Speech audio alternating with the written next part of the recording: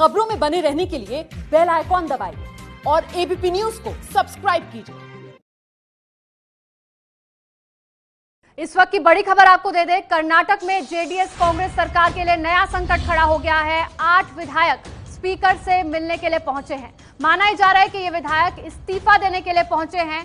आठ विधायकों में जेडीएस के तीन और कांग्रेस के पाँच विधायक हैं। तो ये बड़ी खबर आ रही है कर्नाटक से। जेडीएस कांग्रेस सरकार के लिए एक नया संकट खड़ा हो गया है। आठ विधायक स्पीकर से मिलने के लिए पहुँचे हैं और माना यह जा रहा है कि इस्तीफा देने के लिए ये विधायक स्पीकर के पास पहुँचे हैं। आठ विधायकों में जेडीएस के तीन और कांग्रेस के पाँच विधायक है तो ये नया राजनीतिक नाटक शुरू हो गया है। कर्नाटक में कांग्रेस जेडीएस के आठ एमएलए आठ विधायक इस्तीफा दे सकते हैं। कांग्रेस के पाँच विधायक और जेडीएस के तीन विधायक हैं। कुल मिलाकर ये आठ विधायक जो कि स्पीकर से मिलने के लिए पहुँचे हैं। माना यह जा रहा है कि अपना इस्तीफा देने के लिए ये स्पीकर के पास पहुँचे हैं। नया संकट, नया राजनीतिक संकट। कर्नाटक सरकार पर राज्य में गठबंधन की सरकार है, कांग्रेस, जेडीएस की। और बड़ी खबर यह कि कांग्रेस और जेडीएस के आठ विधायक स्पीकर से मिलने के लिए पहुँचे हैं। सीधा रुक करते हैं बीपी न्यूज़ संवाददाता पिंकी राज पुरोहित का। पिंकी तो ये नया संकट शुरू हो गया है, नया संकट कर्नाटक सरकार पर।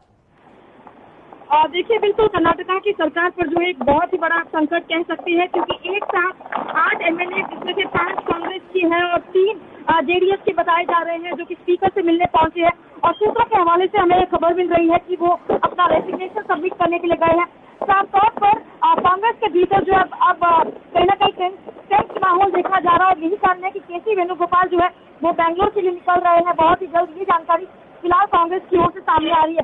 साफ़ तौर पर पिछले कई दिनों से लगातार अंदरूनी जो पॉलिटिक्स देखी जा रही थी, दोनों ही गठबंधन सरकार के बीच जो कांग्रेस और जेडीएस के बीच पोस्ट को लेकर जो लगातार घमासान देखा गया और शायद यही कारण है कि एक के बाद एक रेजिग्नेशन सामने आ रहे हैं। जहाँ तक नंबर्स की बात करें तो अब तक जो है नौ लोग नौ एमएलए जो है वो सामने आए हैं।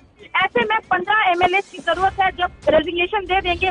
फ़िलहाल बीजेपी के पास 105 एमएलए ऐसे में एक के बाद एक रेजिग्नेशन के बाद मैजिक नंबर जो है वो फ़िलहाल 108 के आसपास आता दिख रहा है। ऐसे में कुछ और एमएलए के इस्तीफे की ज़रूरत जो है वो बीजेपी को पड़ सकती है। जी।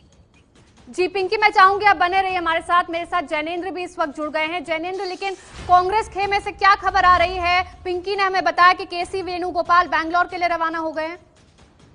जी हाँ बिल्कुल। पिंकी ने जो जानकारियाँ दी हैं, तकरीबन वो सारी जानकारी वो दे चुकी है। पाँच बजे केसी वेणुगोपाल, जो संगठन महासचिव हैं और इसके अलावा कर्नाटक के प्रभारी भी हैं, वो पाँच बजे बेंगलुरु पहुँच रहे हैं। इस संकट के मद्देनजर, इस राजनीतिक संकट के मद्देनजर, और ज़ाहिर सी बात है, कांग्रेस किसी भी सूरत में सरकार को गिरने नहीं देना चाहती। एहतियातन क्या कदम उठाने हैं, इसके मद्देनजर वेणुगोपाल को निर्देश दिए गए हैं, और वो पाँच बजे बेंगलोर पहुँच रहे हैं।